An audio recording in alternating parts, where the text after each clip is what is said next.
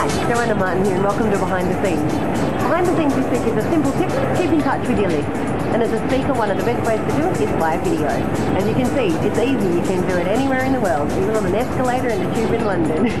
so keep in touch with people, give them you in three dimensions, just like I am here with you, and you'll be amazed at the results.